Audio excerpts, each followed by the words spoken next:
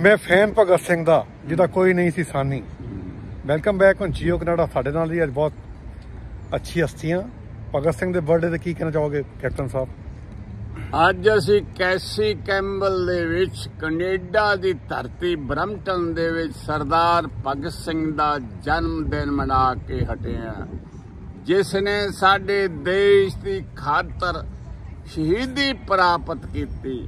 ਉਹਦੀ ਸ਼ਹੀਦੀ ਦੀ ਵਜ੍ਹਾ ਨਾਲ ਅੱਜ ਅਸੀਂ ਭਾਰਤੀ ਹੱਸ ਕੇ ਖੁਸ਼ੀ ਮਨਾ ਰਹੇ ਹਾਂ ਔਰ ਉਹਦੀ ਵਜ੍ਹਾ ਦੇ ਨਾਲ ਅਸੀਂ ਖਾਸ ਕਰਕੇ ਸਿੱਖ ਦਸਤਾਰ ਵਾਲੇ ਪੂਰੇ ਵਰਲਡ ਵਿੱਚ ਫੈਲੇ ਦੂਜੀ ਸਾਡੇ ਗੁਰੂ ਗੋਬਿੰਦ ਸਿੰਘ ਦੀ ਮਿਹਰਬਾਨੀ ਨਾਲ ਉਹਨਾਂ ਕਿਹਾ ਸੀ ਕਿ ਮੇਰਾ ਸਿੱਖ ਲੱਖਾਂ 'ਚ ਖੜਿਆ, ਪਹਿਚਾਣਿਆ ਜਾਊਗਾ। ਵਾਹਿਗੁਰੂ ਜੀ ਕਾ ਖਾਲਸਾ ਤੇ ਵਾਹਿਗੁਰੂ ਜੀ ਕੀ ਫਤਿਹ। ਕਮਲਜੀਤ ਵੀਰ ਜੀ, ਤੁਸੀਂ ਬੜੀਆਂ ਜ਼ਿਆਦਾ ਮਤਲਬ ਸਮਾਵਾਂ ਨਿਭਾਉਂਦੇ ਜੀ ਤੇ ਅੱਜ ਤੁਸੀਂ ਸ਼ਹੀਦ ਭਗਤ ਸਿੰਘ ਜੀ ਦੇ ਜਨਮ ਦਿਨ ਬਾਰੇ ਜਿਹੜੇ ਸੈਮੀਨਾਰ ਹੋਇਆ ਆਪਣੇ ਇੱਕ ਨੰਬਰ ਕਮਰੇ 'ਚ ਤੇ ਬੜਾ ਵਧੀਆ ਸੀਗਾ ਤੇ ਉਹਦੇ 'ਚ ਭਗਤ ਸਿੰਘ ਦੇ ਭਾਣਜ ਜਵਾਈ ਜਿਹੜੇ ਆਏ ਸੀਗੇ ਤੇ ਉਹਨਾਂ ਨੇ ਵੀ ਬੜੀਆਂ ਮਤਲਬ ਜਿਹੜੀਆਂ ਪਰਿਵਾਰ ਸੰਬੰਧੀ ਸਾਰੀਆਂ ਗੱਲਾਂ ਬਾਤਾਂ ਦੱਸੀਆਂ ਵੀ ਇਸ ਤਰ੍ਹਾਂ ਇਸ ਤਰ੍ਹਾਂ ਜੋ ਵੀ ਤੁਸੀਂ ਕਵਰ ਕੀਤੀਆਂ।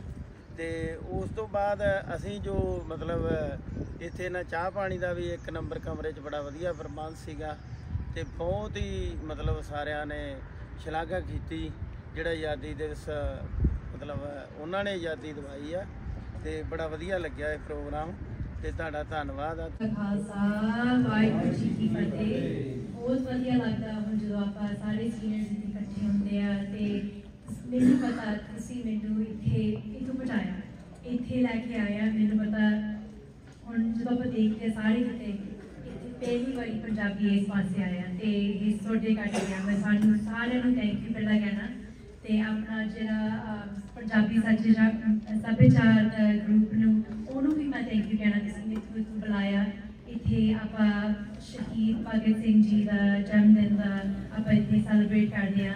ਤੇ ਜਦੋਂ ਵੀ ਤੁਸੀਂ ਸਾਰੇ ਕਿਤੇ ਦੇਖਦੇ ਆ, ਆਪਾਂ ਸੀਨੀਅਰਸ ਇਕੱਠੇ ਹੁੰਦੇ ਆ ਬਹੁਤ ਵਧੀਆ ਹੁੰਦਾ ਆਪਣੇ ਮੈਂਟਲ ਹੈਲਥ ਵਾਸਤੇ ਤੇ ਇਹਨੂੰ ਅੰਕਲ ਜੀ ਵੀ ਹੁਣ ਥੋੜੇ ਜਿਹਾ ਸਾਰੇ ਨੂੰ ਦੱਸਦੇ ਆ ਐਜੂਕੇਟ ਕਰਦੇ ਆ ਭਗਤ ਸਿੰਘ ਜੀ ਨੇ ਕੀ ਕੀਤਾ ਸੀਗਾ, ਕਿੱਥੇ ਲੈ ਕੇ ਆਇਆ ਸੋ ਬਹੁਤ ਜ਼ਰੂਰੀ ਹੈਗਾ ਕਿ ਆਪਾਂ ਹਿਊਮਨ ਰਾਈਟਸ ਇਸ਼ੂਜ਼ ਦੀ ਆਪਾਂ ਗੱਲ ਕਰਦੇ ਆ, ਆਪਾਂ ਆਵਾਜ਼ ਉਠਾਈਏ ਜਿਨ੍ਹਾਂ ਕੋਲ ਆਵਾਜ਼ ਹੈ ਹੀ ਨਹੀਂ। ਸੋ ਇਹ ਚੀਜ਼ਾਂ ਆਪਾਂ ਲੈ ਕੇ ਜਾਣੇ ਕਾਉਂਸਲ ਕੋਲੇ ਸੋਡੀ ਆਵਾਜ਼ ਆਪਾਂ ਜਿਹੜੀ ਹੋਣੇ ਆ। ਸੋ ਮੈਂ ਬਸ ਆਈ ਥੈਂਕ ਯੂ ਕਹਿਣਾ ਸੀ ਆਈ نو ਥੋੜਾ ਟਾਈਮ ਹੀ ਹੈਗਾ ਬਟ ਮੈਨੂੰ ਬਹੁਤ ਜ਼ਰੂਰੀ ਸੀਗਾ ਤੁਹਾਡੇ ਓਕੇ ਹੋਣ ਨੂੰ, ਤੇ ਆਪਾਂ ਇੱਥੇ ਹੈਗੇ ਤੁਹਾਡੀ ਸੇਵਾ ਵਾਸਤੇ। ਜੇ ਵੀ ਕੋਈ ਹੈਲਪ ਚਾਹੀਦੀ ਪਲੀਜ਼ ਆਪ ਨੂੰ ਦੱਸੋ ਤੇ ਆਪਾਂ ਤੁਹਾਡੇ ਨਾਲ ਹੀ ਆ। ਥੈਂਕ ਯੂ ਜੀ। ਵਾਹਿਗੁਰੂ ਜੀ ਕਾ ਖਾਲਸਾ ਵਾਹਿਗੁਰੂ ਜੀ ਕੀ ਫਤਿਹ। ਮੈਂ ਤੁਹਾਨੂੰ ਇੱਕ ਗੱਲ ਦੱਸਾਂ ਵੀ ਮੇਰੇ ਜਿਹੜੇ ਪਾਪਾ ਜੀ ਜਿਹਨਾਂ ਨੂੰ ਮੈਂ ਕਹਿੰਦਾ ਉਹ ਸਰਦਾਰ ਕੁਲਤਾਰ ਸਿੰਘ ਸਾਹਿਬ ਭਗਤ ਸਿੰਘ ਦੇ ਛੋਟੇ ਭਰਾ ਸੀ। ਮੈਂ ਉਹਨਾਂ ਦਾ ਸਨ ਇਨ ਲਾ ਸੀਗਾ। ਪਰ ਜਦੋਂ ਮੈਂ ਉਹਨਾਂ ਨੂੰ ਕਹਿ ਬੈਠਾ ਮੈਂ ਕਿਹਾ ਜੀ ਮੈਂ ਇਹਨਾਂ ਦਾ ਸਨ ਲਾ ਹਾਂ। ਕਿ ਉਹ ਕਹਿੰਦੇ, ਕਾਕਾ ਜੀ, ਤੁਸੀਂ ਇਨ ਲਾ ਵਿੱਚੋਂ ਕੱਢ ਦਿਓ ਤੁਸੀਂ ਮੇਰੇ ਸਨ ਬਣ ਜਾਓ ਤੇ ਮੈਂ ਤੁਹਾਡਾ ਫਾਦਰ ਬਣ ਜਾਣਾ ਤੇ ਸੋ ਅਸੀਂ ਇਨ ਲਾ ਵਿੱਚੋਂ ਕੱਢ ਦਿੱਤਾ ਹੋਇਆ ਹੈ। ਤੇ ਮੈਂ ਤੁਹਾਨੂੰ ਇੱਕ ਮੇਥੇ ਦੱਸਣ ਲੱਗਾ ਸੀਗਾ ਵੀ ਮੈਨੂੰ ਇਹ ਸ਼ਬਦ ਬਹੁਤ ਚੁਭਦਾ ਆ। ਜਦੋਂ ਕੋਈ ਕਹਿੰਦਾ ਵੀ ਮੈਂ ਉਹਨਾਂ ਦਾ ਮੈਂ ਪੰਜਾਬੀ ਚ ਲਫ਼ਜ਼ ਜੋ ਕਹਿੰਦੇ ਮੇਰੇ ਮੂੰਹ ਚੋਂ ਨਹੀਂ ਨਿਕਲ ਰਿਹਾ ਸਨ ਅੱਲਾ ਮੈਂ ਨਹੀਂ ਉਹਨਾਂ ਦਾ ਸਨ ਮੈਂ ਉਹਨਾਂ ਦਾ ਭਗਤ ਆ ਮੈਂ ਉਹਨਾਂ ਦੇ ਵਿਚਾਰਾਂ ਨੂੰ ਫਾਲੋ ਕਰਨ ਦੀ ਕੋਸ਼ਿਸ਼ ਕਰਦਾ ਆ ਜੇ ਮੈਂ ਥੋੜਾ ਜਿਹਾ ਵੀ ਕੁਝ ਉਹਨਾਂ ਦੀ ਗੱਲ ਨੂੰ ਸਮਝ ਸਕਿਆ ਆ ਤੇ ਉਹਦੇ ਚ ਮੈਨੂੰ ਇਹ ਲੱਗਦਾ ਵੀ ਦੋ ਰੋਟੀਆਂ ਦੇ ਹਰਕ ਨਹੀਂ ਖਾਣੀਆਂ ਆ। ਮੈਨੂੰ ਅਸੂਲ ਪਿਆਰੇ ਆ। having said that ਮੈਂ ਇਹ ਆਪਣਾ ਫਰਜ਼ ਸਮਝਦਾ ਵੀ ਜਿਸ ਹੀਰੋ ਨੂੰ ਤੁਸੀਂ ਹਰ ਸਾਲ ਯਾਦ ਕਰਦੇ ਹੋ ਔਰ ਉਹਨੂੰ 1907 ਚ ਪੈਦਾ ਹੋਏ ਸੀਗੇ, ਹੁਣ 100 ਸਾਲ ਹੋਣ ਚ ਬਹੁਤ ਥੋੜਾ ਹੀ ਟਾਈਮ ਰਹਿ ਗਿਆ। ਉਹਨਾਂ ਦੀ ਸ਼ਹਾਦਤ 1931 ਚ ਹੋਈ ਤੇ ਉਹ, ਉਹਦੇ ਚ ਵੀ ਬਹੁਤਾ ਟਾਈਮ ਨਹੀਂ ਰਹਿ ਗਿਆ। ਤੇ ਉਹਨੂੰ ਤੁਸੀਂ ਹਰ ਸਾਲ ਹੀ ਯਾਦ ਕਰੀ ਜਾ ਰਹੇ ਹੋ। ਉਹਦੇ ਬਾਰੇ ਉਹ ਵਿਚਾਰਾਂ ਦੀ ਸਾਂਝ ਜਿਹੜੀ ਆ, ਉਹ ਤੇ ਸਾਰਿਆਂ ਦੀ ਆ, ਆਪਣੀ ਸਾਰਿਆਂ ਦੀ ਆ ਵਿਚਾਰਾਂ ਦੀ ਸਾਂਝ। ਤੇ ਮੈਂ ਉਹਨਾਂ ਦੀਆਂ ਘਰ ਦੀਆਂ ਨਿੱਕੀਆਂ ਨਿੱਕੀਆਂ ਗੱਲਾਂ ਜੇ ਦੱਸਾਂ, ਤੇ ਤੁਹਾਨੂੰ ਬੜਾ ਚੰਗਾ ਲੱਗੂਗਾ। ਤੇ ਘਰ ਦੀਆਂ ਨਿੱਕੀ ਨਿੱਕੀਆਂ ਗੱਲਾਂ 'ਚ ਮੈਂ ਤੁਹਾਨੂੰ ਦੱਸਾਂ ਵੀ ਜਦੋਂ ਉਹ ਪਹਿਲੀ ਜਮਾਤ ਵਿੱਚ ਪਿੰਡ ਦੇ ਪ੍ਰਾਇਮਰੀ ਸਕੂਲ ਵਿੱਚ ਉਹਨਾਂ ਨੂੰ ਦਾਖਲ ਕਰਾਇਆ ਗਿਆ, ਤੇ 5-7 ਦਿਨ ਬਾਅਦ ਹੀ ਬੇਬੇ ਚੁੱਲ੍ਹੇ ਚੌਂਕੇ 'ਚ ਬੈਠੀ ਸੀਗੀ ਤੇ ਆਪਣਾ ਕੰਮ ਕਰ ਰਹੀ ਸੀ ਕਿਚਨ 'ਚ ਤੇ ਬਾਹਰੋਂ ਆਵਾਜ਼ਾਂ ਆਉਣ ਲੱਗ ਪਈਆਂ ਤੇ ਭਗਸੋਂ ਦਾ ਟਾਈਮ ਹੋਇਆ ਸੀ ਸਕੂਲੋਂ ਵਾਪਸ ਆਉਣ ਦਾ ਤੇ ਬੇਬੇ ਪੁੱਛਦੀ, ਭਗਤਾ, ਤੇਰੇ ਨਾਲ ਕੌਣ ਹੈਗੇ ਆ? ਉਹ ਉਹ ਵੱਡੀਆਂ ਜਮਾਤਾਂ ਦੇ ਬੱਚੇ ਚਾਰ ਪੰਜ ਉਹਨਾਂ ਨੂੰ ਆਪਣੇ ਮੋਢਿਆਂ ਤੇ ਚੱਕੀ ਲਿਆ ਰਹੇ ਸੀਗੇ ਤੇ ਉਹ ਕਹਿੰਦੇ, ਬੇਬੇ ਜੀ, ਇਹ ਮੇਰੇ ਦੋਸਤ ਆ। ਪੰਜ ਸੱਤ ਦਿਨ ਬਾਅਦ ਫਿਰ ਐਸੀ ਗੱਲ ਹੋਈ ਵੀ ਕਿਤੇ ਆਪਣਾ ਕੋਈ ਕੱਪੜਾ ਸੀਨਾ ਦੇ ਕੇ ਆਏ ਸੀ ਦਰਜੀ ਨੂੰ ਤੇ ਉਹ ਦਰਜੀ ਘਰ ਹੀ ਆ ਗਿਆ। ਕਪੜਾ ਲੈ ਕੇ ਜੋ ਵੀ ਸੀਤਾ ਉਹਨੇ ਤੇ ਬੇਬੇ ਫੇ ਪੁੱਛਦੇ, ਭਗਤਾ ਦੇਖ ਕੌਣ ਆਇਆ? ਤੇ ਉਹ ਦੱਸਦੇ, ਉਹ ਕਹਿੰਦੇ, ਬੇ- ਬੇਬੇ, ਇਹ ਮੇਰਾ ਦੋਸਤ ਆ, ਚੰਗਾ, ਮੇਰਾ ਕਪੜਾ ਲੈ ਕੇ ਆਏ ਆ। ਤੇ ਬੇਬੇ ਹੱਸਣ ਲੱਗ ਪਈ। ਬੇਬੇ ਕਹਿੰਦੀ ਵੀ ਮੈਨੂੰ ਲੱਗਦਾ ਵੀ ਤੇਰੀ ਦੁਨੀਆ ਸਾਰੀ ਦੋਸਤ ਆ। ਤੇ ਉਹ ਕਹਿੰਦੇ, ਹਾਂ, ਛੋਟੀ ਉਮਰ ਦਾ ਬੱਚਾ ਉਹ ਕਹਿੰਦਾ, ਮੇਰੀ ਦੁਨੀਆ ਸਾਰੀ ਦੋਸਤ ਆ। ਇਹ ਮੈਂ ਗੱਲ ਇਸ ਕਰਕੇ ਕੀਤੀ ਆ ਕਿ ਜਦੋਂ ਬੜੇ ਹੋ ਕੇ ਉਹ ਘਰ ਛੱਡ ਗਏ ਤੇ ਵਾਪਸ ਆਉਂਦੇ ਸੀ ਤੇ ਛੋਟਾ ਭਰਾ ਕੁਤਾਰ ਬੜਾ ਖੁਸ਼ ਹੁੰਦਾ ਸੀ ਵੀ ਆ ਗਿਆ ਬ- ਜੀ ਆ ਗਿਆ, ਵੀਰਾ ਜੀ ਆ ਗਿਆ। ਮੋਢਿਆਂ ਤੇ ਚੜ੍ਹਦੇ ਸੀਗੇ। ਤੇ ਉਹ ਹੱਸੀ ਜਾਂਦੇ ਰਹਿੰਦੇ ਸੀਗੇ। ਤੇ ਆਲਮ ਹਸਨ ਕੁਲਤਾਰ ਸਿੰਘ ਨੂੰ ਪੁੱਛਦੇ ਉਹਨਾਂ ਨੂੰ ਵੀ ਵੀਰਾ ਜੀ, ਤੁਸੀਂ ਕਦੇ ਕਿਸੇ ਨਾਲ ਗੁੱਸੇ ਵੀ ਹੋਏ ਹੋ? ਕਦੇ ਤੁਸੀਂ ਕਿਸੇ ਨੂੰ ਹੇਟ ਵੀ ਕੀਤਾ? ਤੁਸੀਂ ਹੱਸਦੇ ਹੀ ਰਹਿੰਦੇ ਹੋ? ਉਹ ਕਹਿੰਦੇ I don't hate anybody I don't hate any person I hate the system ਉਹ ਸਿਸਟਮ ਜਿਹੜਾ ਉਸ ਵੇਲੇ ਲੋਕਾਂ ਨੂੰ ਵੰਡ ਰਿਹਾ ਸੀ, ਉਹੀ ਸਿਸਟਮ ਵਾਲੇ ਹੋਰ ਵੀ ਬਹੁਤ ਜ਼ਿਆਦਾ ਵੰਡ ਰਿਹਾ ਲੋਕਾਂ ਨੂੰ। ਇੱਕ ਮੈਂ ਛੋਟੀ ਜਿਹੀ ਹੋਰ ਗੱਲ ਇਹ ਕਰਨੀ ਆ ਵੀ ਉਹ ਬੇਬੇ ਜੀ ਨੂੰ ਜਦੋਂ ਉਹਨਾਂ ਦਾ ਟਾਈਮ ਆ ਗਿਆ ਤੇ ਜੇਲ੍ਹ ਚੋਂ ਬੇਬੇ ਜੀ ਮਿਲ ਗਏ ਤੇ ਬੇਬੇ ਜੀ ਨੂੰ ਕਹਿੰਦੇ ਬਈ ਬੇਬੇ ਇੱਕ ਮੇਰੇ ਨਾਲ ਵਾਅਦਾ ਕਰੋ, ਕਹਿੰਦੇ ਕੀ? ਕਹਿੰਦੇ ਜਦੋਂ ਮੈਨੂੰ ਫਾਂਸੀ ਲੱਗ ਜੂ ਨਾ, ਤੇ ਮੇਰੀ ਲਾਸ਼ ਨਾ ਲੈਣ ਆਇਓ। ਕਹਿੰਦੇ ਕਿਉਂ? ਪੁੱਤ ਤੂੰ ਮੇਰਾ ਪੋਤਿਆ ਮੈਂ ਕਿੱਦਾਂ ਘਰ ਬੈਠੀ ਰਹੂੰਗੀ? ਮੈਂ ਲਾਸ਼ ਲੈਣ ਆਉਂਗੀ ਉਹ ਕਹਿੰਦੇ, ਨਹੀਂ, ਤੁਹਾਡੇ ਕੋਲ ਦੇਖ ਨਹੀਂ ਹੋਣੀ। ਕਹਿੰਦੇ, ਉਹਨਾਂ ਨੇ ਪਹਿਲਾਂ ਹੀ ਦੱਸ ਦਿੱਤਾ ਸੀ ਵੀ ਮੇਰੀ ਲਾਸ਼ ਦੇ ਟੋਟੇ ਕਰ ਦੇਣੇ ਆ। ਤੇ ਬੀਬੇ ਅਖੀਰ ਮੰਨ ਗਏ। ਕਿਉਂਕਿ ਸਾਹਿਬ ਭਗਤ ਸਿੰਘ ਨਹੀਂ ਸੀ ਚਾਹੁੰਦੇ ਵੀ ਉਹਨਾਂ ਦੀ ਹਿਸਟਰੀ 'ਚ ਕਿਤੇ ਇਹ ਗੱਲ ਆ ਜਾਵੇ ਵੀ ਉਹ ਬੰਦਾ ਮੌਤ ਤੋਂ ਡਰ ਗਿਆ। ਤੇ ਉਹਨਾਂ ਨੇ ਇਕਰਾਰ ਕਰ ਦਿੱਤਾ ਤੇ ਬੇਬੇ ਜੀ ਨੇ ਜਦੋਂ ਅਸੀਂ ਗੱਲਾਂ ਕਰਦੇ ਹੁੰਦੇ ਸੀਗੇ, ਮੈਨੂੰ ਮੌਕਾ ਮਿਲਿਆ। ਮੈਂ ਇਹਨੂੰ ਉਹਨਾਂ ਨੇ ਪਿਆਰ ਵੀ ਦਿੱਤਾ, ਸਾਰਾ ਕੁਝ ਖੈਰ, ਉਹ ਉਹ ਤੇ ਘਰ ਦੀ ਗੱਲ ਆ। ਤੇ ਉਹ ਗੱਲ ਕਰਦੇ ਸੀ, ਜਦੋਂ ਵੀ ਅਸੀਂ ਉਹਨੂੰ ਪੁੱਛਦੇ ਸੀ ਤੇ ਉਹ ਗੱਲਾਂ ਉਹਨਾਂ ਦੀਆਂ ਹੱਸ ਹੱਸ ਕੇ ਕਰਦੇ ਸੀਗੇ। ਤੇ ਮੈਨੂੰ ਉਹ ਤੋਂ ਗੱਲ ਇੱਕ ਯਾਦ ਆ ਗਈ ਮਾਈਥੋਲੋਜੀ ਦੀ ਗੱਲ ਹੈ ਇੱਕ ਇੱਕ ਇੱਕ ਹੁੰਦਾ ਇਤਿਹਾਸ, ਜਿਹੜੀਆਂ ਸਹੀ ਗੱਲਾਂ ਹੋਈਆਂ ਹੋਣ, ਜਿਹੜੀਆਂ ਮੈਂ ਗੱਲਾਂ ਤੁਹਾਨੂੰ ਦੱਸਦੀਆਂ, ਇਹ ਸਹੀ ਗੱਲਾਂ ਆ। ਇੱਕ ਹੁੰਦਾ ਮਿਥੀ ਹੋਈ ਗੱਲ, ਮਿਥਿਹਾਸ ਉਹਨੂੰ ਮਿਥ ਮਾਈਥੋਲੋਜੀ ਕਹਿੰਦੇ ਆ। ਕਹਿੰਦੇ ਸਤਯੁਗ ਦੇ ਜ਼ਮਾਨੇ 'ਚ ਇੱਕ ਰਾਜਾ ਬਲ ਹੋਇਆ। ਉਹਦੇ ਕਹਿੰਦੇ ਉਹਦੀ, ਉਹਦੇ ਦਿਲ 'ਚ ਇੰਨੀ ਦਇਆ ਹੁੰਦੀ ਸੀਗੀ ਕਿ ਉਹਦੇ ਦਰ ਤੇ ਕੋਈ ਵੀ ਆਵੇ ਤੇ ਉਹਦੀ ਉਹ ਇੱਛਾ ਪੂਰੀ ਕਰਦਾ ਸੀਗਾ। ਕਦੇ ਉਹਨੇ ਕਿਸੇ ਨੂੰ ਨਾ ਨਹੀਂ ਸੀ ਕੀਤੀ। ਤੇ ਉਹਦੀ ਇੰਨੀ ਮਸ਼ਹੂਰੀ ਹੋ ਗਈ ਵੀ ਦੇਵਤਿਆਂ ਨੂੰ ਖਤਰਾ ਪੈ ਗਿਆ। ਉਹ ਕਹਿੰਦੇ ਵੀ ਇਹ ਤੇ ਸਾਡੇ ਤੋਂ ਵੀ ਜ਼ਿਆਦਾ ਉੱਤੇ ਹੋ ਗਿਆ। ਕਿਤੇ ਕਿਸੇ ਨੂੰ ਨਾ ਹੀ ਨਹੀਂ ਕੀਤੀ।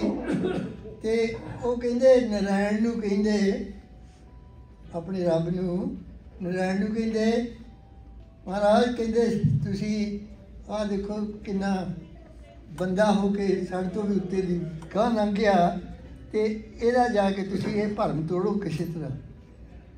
ਤੇ ਉਹ ਕਹਿੰਦੇ, ਚੰਗਾ, ਮੈਂ ਦਿਲ ਜਾਣਾ ਖੈਰ ਨਰੈਣ ਕਹਿੰਦੇ ਆ ਗਏ, ਉਹਦੇ ਦਰ ਤੇ ਦਰਵਾਜ਼ਾ ਖੜਕਾਇਆ। ਉਹਨੇ ਦੇਖਿਆ ਤੇ ਛੋਟਾ ਜਿਹਾ ਇੱਕ ਬੱਚਾ ਮੋਰੇ ਖੜਾ, ਬਹੁਤ ਛੋਟਾ ਜਿਹਾ। ਤੇ ਉਹ ਕਹਿੰਦਾ ਵੀ ਮੈਂ ਸੁਣਿਆ ਤੂੰ ਕਿਸੇ ਨੂੰ ਨਾ ਨਹੀਂ ਕਰਦਾ। ਉਹ ਕਹਿੰਦਾ ਜੀ ਮੈਂ ਕੋਸ਼ਿਸ਼ ਕਰਦਾ ਰਹਿਣਾ ਹਮੇਸ਼ਾ ਹੀ। ਹਾਲੇ ਤਾਈਂ ਠੀਕ ਹੀ ਆ ਮੇਰੀ ਆ। ਤੇ ਕਹਿੰਦੇ ਜੇ ਨਾ ਹੋਈ, ਉਹ ਕਹਿੰਦਾ ਜੀ ਜੇ, ਜੋ ਵੀ ਫਿਰ ਤੁਹਾਡਾ ਜੀ ਕਰੇ, ਕਰ ਲਿਓ। ਜੇ ਮੇਰੇ ਕੋ ਨਾ ਪੂਰਾ ਹੋਵੇ, ਤੁਹਾਡੀ ਡਿਮਾਂਡ ਨਾ ਕਰ ਹੋਈ। ਤੇ ਉਹ ਜਦੋਂ ਉਹਦੇ ਮੂੰਹ ਇਹ ਗੱਲ ਸੁਣ ਲਈ ਉਹਨੇ, ਨਰਾਇਣ ਨੇ ਤੇ ਆਪਣਾ ਕਹਿੰਦੇ ਇੱਕ ਲੱਤ ਚੁੱਕ ਕੇ ਅਸਮਾਨ ਨੂੰ ਲਾਤੀ, ਆਪਣਾ ਅਸਲੀ ਰੂਪ ਦੱਸਣ ਲਈ ਕਿ ਮੈਂ ਕੌਣ ਆ। ਤੇ ਉਹਨੂੰ ਪਤਾ ਲੱਗ ਗਿਆ ਵੀ ਹੁਣ ਮੇਰਾ ਟਾਈਮ ਆ ਗਿਆ ਤੇ ਟਾਈਮ ਦਾ ਵੀ ਉਹਨੇ ਕਹਿਤਾ ਵੀ ਅੱਜ ਸ਼ਾਮ ਨੂੰ ਤੇਰਾ ਤੇਰਾ ਜੀਵਨ ਖਤਮ ਹੋ ਜਾਊਗਾ। ਤੇ ਕਹਿੰਦੇ ਸ਼ਹਿਰ ਦੇ ਵਿੱਚ ਦਿਨੇ ਸਾਰੇ ਸ਼ਹਿਰ ਚ ਰੌਲਾ ਪੈ ਗਿਆ ਵੀ ਅੱਜ ਸ਼ਾਮ ਨੂੰ ਰਾਜੇ ਬਲ ਦਾ ਟਾਈਮ ਪੂਰਾ ਹੋ ਜਾਣਾ। ਤੇ ਦੁਪਹਿਰ ਨੂੰ ਕਹਿੰਦੇ ਉਹਦੀ ਮਾਤਾ ਬਾਜ਼ਾਰ ਚ ਗਾਉਂਦੀ ਜਾਵੇ। ਤੇ ਸਾਰੇ ਬਾਜ਼ਾਰੀਏ ਕਹਿੰਦੇ ਕਹਿੰਦੇ ਤੂੰ ਕੈਸੀ ਮਾਤਾ ਹੈ ਤੇਰਾ ਪੁੱਤ ਸ਼ਾਮ ਨੂੰ ਜਾ ਰਿਹਾ ਤੇ ਤੂੰ ਆ ਗਾਉਂਦੀ ਫਿਰਦੀ ਆ। ਤੈਨੂੰ ਸ਼ਰਮ ਨਹੀਂ ਆਉਂਦੀ ਇਸ ਗੱਲ ਦੀ? ਉਹ ਕਹਿੰਦੀ, ਮੈਂ ਇਸ ਕਰਕੇ ਨਹੀਂ ਆਉਂਦੀ ਵੀ ਮੇਰੇ ਪੁੱਤ ਨੇ ਚੱਲ ਜਾਣਾ। ਮੈਂ ਇਸ ਕਰਕੇ ਗਾਉਂਦੀ ਆ ਵੀ ਮੇਰੇ ਪੁੱਤ ਨੂੰ, ਮੇਰੇ ਪੁੱਤ ਕੋਲ ਰੱਬ ਵੀ ਮੰਗਣਾ ਆ ਗਿਆ। ਇਹ ਗੱਲ ਹੈ ਤੇ ਮਾਈਥੋਲੋਜੀ ਦੀ ਆ, ਮੇਰੇ ਕੋਲ ਕੋਈ ਐਵੀਡੈਂਸ ਨਹੀਂਗਾ ਪਰ ਇਹ ਗੱਲ ਮੈਂ ਆਪਣੇ ਘਰ ਦੀ ਦੱਸ ਰਿਹਾ ਵੀ ਬੇਬੇ ਜੀ ਨੇ ਜਦੋਂ ਵੀ ਗੱਲ ਕੀਤੀ ਸਦਾ ਸਰਪੰਚ ਸੁਣਦੀ। ਹੱਸਦੇ ਗੱਲ ਕਰਦੇ ਸੀ। ਤੇ ਮੈਨੂੰ ਉਦੋਂ ਇਹ ਲੱਗਾ ਵੀ ਰੱਬ ਵੀ ਉਹ ਕੋ ਮੰਗਣ ਵਾਲਾ ਤੇ ਖੈਰ, ਉਹਨਾਂ ਨੇ ਇੱਕ ਕਿਤਾਬ ਵੀ ਲਿਖੀ ਹੈ ਜਿਹੜੀ ਮੁੜ ਕੇ ਕਿਸੇ ਨੂੰ ਪਤਾ ਨਹੀਂ ਲੱਗੀ ਕਿਉਂਕਿ ਉਹ ਜਦੋਂ ਬਾਹਰ ਨਿਕਲੀ ਤੇ ਗਵਰਨਮੈਂਟ ਨੇ ਜਾਰੀ ਕਰ ਲਈ, ਪਤਾ ਨਹੀਂ ਕੀ ਹੋਇਆ। ਤੇ ਉਹ ਖੀਰਲੀ ਕਿਤਾਬ ਸੀ ਉਹਨਾਂ ਦੀ। ਉਹਦੇ ਵਿੱਚ ਉਹਨਾਂ ਨੇ ਲਿਖਿਆ ਜਿਹੜਾ ਉਹਦਾ ਟਾਈਟਲ ਸੀਗਾ on the door of death ਵੀ ਮੈਂ ਜ਼ਿੰਦਗੀ ਦੀ, ਜ਼ਿੰਦਗੀ ਤੇ ਮੌਤ ਦੇ ਵਿੱਚ ਖੜਾ ਆ, ਮੇਰੀ ਕੀ ਫੀਲਿੰਗ ਆ? ਉਹ ਸਾਨੂੰ ਨਹੀਂ ਪਤਾ ਲੱਗੀਆਂ, ਪਰ ਘੱਟੋ ਘੱਟ ਇਹ ਪਤਾ ਆ ਵੀ ਜਦੋਂ ਉਹਨਾਂ ਨੇ, ਉਹਨਾਂ ਦੇ ਮੂੰਹ ਦੇ ਕਾਲਾ ਕੱਪੜਾ ਪਾਉਣਾ ਸੀਗਾ, ਤੇ ਉਹਨਾਂ ਨੇ ਕਿਹਾ ਵੀ ਨਹੀਂ, ਕਾਲੇ ਕੱਪੜੇ ਪਾਉਣ ਦੀ ਲੋੜ ਨਹੀਂ ਉਹਨਾਂ ਨੇ ਆਪ ਰ- ਦਾ ਪਾਇਆ ਤੇ ਅਖੀਰਲਾ ਉਹਨਾਂ ਨੇ ਸ਼ੇਰ ਬੋਲਿਆ ਸੀਗਾ ਉਹ ਕਹਿੰਦੇ ਵੀ ਮਰ ਕਰ ਵੀ ਨਾ ਉਰਦੂ ਦਾ ਆ ਤੁਹਾਨੂੰ ਪਤਾ ਲੱਗ ਹੀ ਜਾਣਾ ਮਰ ਕਰ ਵੀ ਨਾ ਨਿਕਲੇਗੀ ਦਿਲ ਸੇ ਵਤਨ ਕੀ ਉਲਫਤ ਉਲਫਤ ਹੁੰਦਾ ਪ੍ਰੇਮ मर कर भी न निकलेगी दिल से वतन की उल्फत मेरी मिट्टी से भी खुशबुए वतन आएगी आ तुसी सारे खुशबू ले रहे हैं इस ਵੇਲੇ ਬਹੁਤ ਕਹਿਣ ਲੋਕੀ, ਜਗ ਸੂਰਮੇ ਉਹਨਾਂ ਨੂੰ ਕਹਿਣ ਲੋਕੀ, ਮਰਨਾ ਹੈ ਕਿਤੇ ਹੈ ਤੇ ਜਨ ਜਿਹੜੇ। ਪਉ ਉਹੀ ਜਾਣਦੇ ਬੰਦਿਆਂ ਦਾ ਕਲਮਾ ਉਸ ਦਾ ਪਣ ਜਿਹੜੇ। ਕਰ ਕਰ ਪਤੰਗੇ ਨਹੀਂ ਜੰਮ ਲੈਂਦੇ ਬਲਦੀ ਸ਼ਮਾ ਤੇ ਤੱਕ ਜੋ ਸੜਨ ਜਿਹੜੇ ਉਹਨਾਂ ਕਬਰਾਂ ਤੇ ਮੇਲੇ ਲੱਗਦੇ ਨੇ ਓ ਉਹਨਾਂ ਕਬਰਾਂ ਤੇ ਮੇਲੇ ਲੱਗਦੇ ਨੇ ਖਾਤਰ ਦੇਸ਼ ਤੇ ਕੌਮ ਲਈ ਲੜਨ ਜਿਹੜੇ ਤੇਰੇ ਲਾਡਲੇ ਪੁੱਤਰ ਤੇ ਅੰਬੜੀਏ ਵਰਤ ਗਿਆ ਕੀ ਪਾਣਾ? ਮੇਰੇ ਵੀਰ ਭਗਤ ਸਿੰਘ ਨੇ ਕੱਲ ਨੂੰ ਫਾਂਸੀ ਤੇ ਚੜ ਜਾਣਾ। ਕੱਲ ਨੂੰ ਫਾਂਸੀ ਤੇ ਚੜ ਜਾਣਾ। ਅੱਜ ਜਾਂਦੀ ਵਾਰੀ ਦੀ ਕਰਕੇ ਮੁਲਾਕਾਤ ਮੈਂ ਆਈਆਂ। ਉਹਦੇ ਪੈਰੀ ਬੇੜੀਆਂ ਨੀ, ਨਾਲੇ ਹੱਥ ਕੜੀਆਂ ਲਾਈਆਂ। ਤੇ ਤੇ ਖੜ ਕੇ ਨੀ ਕਹਿੰਦਾ ਦੇਸ਼ ਆਜ਼ਾਦ ਕਰਾਉਣਾ। ਮੇਰੇ ਵੀਰ ਭਗਤ ਸਿੰਘ ਨੇ ਕੱਲ ਨੂੰ ਫਾਂਸੀ ਤੇ ਚੜ ਜਾਣਾ ਕੱਲ ਨੂੰ ਫਾਂਸੀ ਤੇ ਚੜ ਜਾਣਾ। ਉਸ ਵੱਡੰਟ ਮੂਰੇ ਉਸ ਵੱਡੰਟ ਮੂਰੇ ਲਾਉਂਦਾ ਇਨਕਲਾਬ ਦੇ ਨਾਰੇ। ਇਨਕਲਾਬ ਜਿੰਦਾਬਾਦ ਇਨਕਲਾਬ ਜਿੰਦਾਬਾਦ। ਭਾਰਤ ਭਾਰਤੀ ਧਰਤੀ ਤੋਂ ਕਹਿੰਦਾ ਗੋਰੇ ਕੱਢਣੇ ਸਾਰੇ। ਟਿੱਕਾ ਸਦਾ ਗੁਲਾਮੀ ਦਾ। ਭਾਰਤ ਮਾਂ ਦੇ ਮੱਥੇ ਤੋਂ ਲਾਉਣਾ। ਮੇਰੇ ਵੀਰ ਭਗਤ ਸਿੰਘ ਨੇ ਕੱਲ ਨੂੰ ਫਾਂਸੀ ਤੇ ਚੜ ਜਾਣਾ। ਕੱਲ ਨੂੰ ਫਾਂਸੀ ਤੇ ਚੜ ਜਾਣਾ। ਪਾਪੀ ਅੰਗਰੇਜ਼ਾਂ ਨੇ ਕੀਤਾ ਮੇਰੇ ਵੀਰ ਨਾਲ ਲੋੜਾ ਨਾ ਉਹ ਚੰਨ ਕਰਾਇਆ ਵਾਲਾ, ਕਿਵੇਂ ਚੱਲੂ ਉਹਦਾ ਵਿਛੋੜਾ? ਨਾ ਡਾਕਾ ਮਾਰਿਆ ਨੀ, ਨਾ ਡਾਕਾ ਮਾਰਿਆ ਨੀ, ਨਾ ਕੋਈ ਲੁੱਟਿਆ ਕੋਈ ਖਜ਼ਾਨਾ। ਮੇਰੇ ਵੀਰ ਭਗਤ ਸਿੰਘ ਨੇ ਕੱਲ ਨੂੰ ਫਾਂਸੀ ਤੇ ਚੜ ਜਾਣਾ ਕੱਲ ਨੂੰ ਫਾਂਸੀ ਤੇ ਚੜ ਜਾਣਾ। ਵਾਹਿਗੁਰੂ ਜੀ ਕਾ ਖਾਲਸਾ, ਸ੍ਰੀ ਵਾਹਿਗੁਰੂ ਜੀ ਕੀ ਫਤਿਹ। ਟਾਈਮ ਦੇ ਕਰ ਤੁਸੀਂ ਮੈਂ ਤੁਹਾਡਾ lot of thank you okay Bhagat Singh ji ਦਾ ਇੱਕ ਕੋਟ ਸੀ ਜਦ ਕਿਸੇ ਨੇ ਉਹਨਾਂ ਨੂੰ ਪੁੱਛਿਆ ਸੀ ਕਿ ਹਾਊ ਅ ਮੈਰਿਜ ਉਹ ਕਹਿੰਦੇ ਸੀ ਕਿ ਜਿਸ ਦਿਨ ਹਿੰਦੁਸਤਾਨ ਦੀ ਆਜ਼ਾਦੀ ਤੋਂ ਪਹਿਲੇ ਹਾਂ। ਅਗਰ ਹਿੰਦੁਸਤਾਨ ਦੀ ਆਜ਼ਾਦੀ ਤੋਂ ਪਹਿਲੇ ਮੇਰਾ ਵਿਆਹ ਹੁੰਦਾ ਹੈ ਤਾਂ ਮੇਰੀ ਦੁਲਹਨ ਦਾ ਨਾਮ ਮੌਤ ਹੋਏਗਾ। And that was a quote I liked it very much. Thank you. ਸਹੀ ਗੱਲ ਆ ਜੀ। ਮੇਰੀ ਕਵਿਤਾ ਸੰਤ ਉਦਾਸੀ ਦੀ ਕਲਮ ਤੋਂ ਵਾਰਸਾਂ ਦੇ ਨਾਲ। ਉਦਾਸੀ ਜੀ ਨੇ ਸ਼ਿਕਵਾ ਗਿਲਾ ਭਗਤ ਸਿੰਘ ਦੀ ਮਾਤਾ ਦੇ ਜ਼ਾਹਰ ਕੀਤਾ ਹੈ ਵੀ ਉਹਨੇ ਪੰਜਾਬ ਮਾਤਾ ਦਾ ਖਿਤਾਬ ਕਿਉਂ ਲਿਆ? ਘੱਟ ਤੋਂ ਘੱਟ ਏਡੇ ਵੱਡੇ ਸ਼ਹੀਦ ਨੂੰ ਭਾਰਤ ਮਾਤਾ ਦਾ ਖਿਤਾਬ ਤਾਂ ਮਿਲਦਾ। ਉਹਦਾ ਸ਼ਿਕਵਾ ਸੀ, ਉਹਦਾ ਗਿਲਾ ਸੀ ਕਵੀ ਦਾ। ਸਾਡਾ ਯੰਮੀਓ ਜਰਾ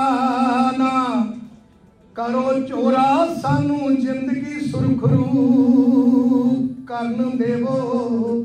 ਅਸੀਂ ਜੰਮਿਆ ਹੋਗੇ ਦਿਲਾਟ ਵਿੱਚੋਂ, ਸਾਨੂੰ ਸੇਕ ਜੁਦਾਈ ਦਾ ਜਨ ਦੇਵੋ। ਸਾਡੇ ਵੀਰਾਂ ਨੂੰ ਵਰਜ ਕੇ ਘਰਾਂ ਅੰਦਰ ਚੁੰਦੀ ਮਾਰਿਓ ਜੇਨਾ ਸਾਡੀ ਆਪ ਮਾਤਾ, ਉਹ ਭਗਤ ਸਿੰਘ ਦੀ ਮਾਂ ਬੇਸ਼ੱਕ ਬਣਿਓ।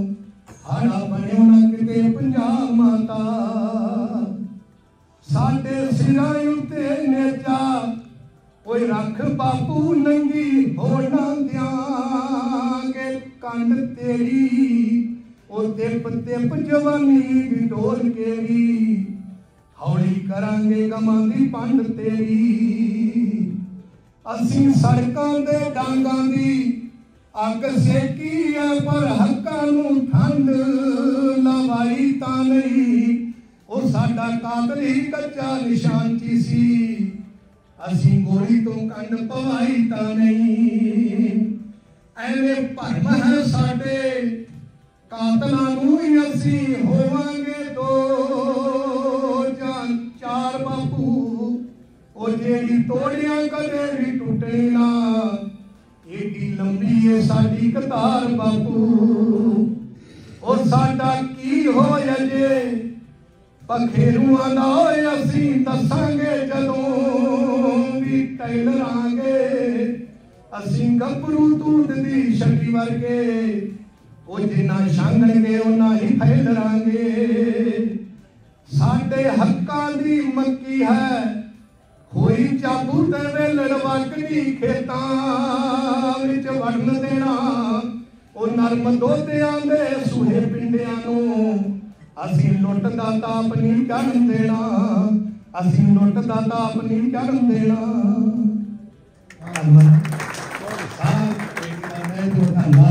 ਮੈਂ ਕਹਿੰਦਾ, ਮੈਂ ਤੋਂ ਦੁਸਾਕੀ ਬਾਪ ਸਾਰੇ ਬਜ਼ੁਰਗਾਂ ਦਾ ਤੇ ਆਏ ਸੱਜਣਾਂ ਦਾ ਤਹਿ ਦਿਲੋਂ ਧੰਨਵਾਦ।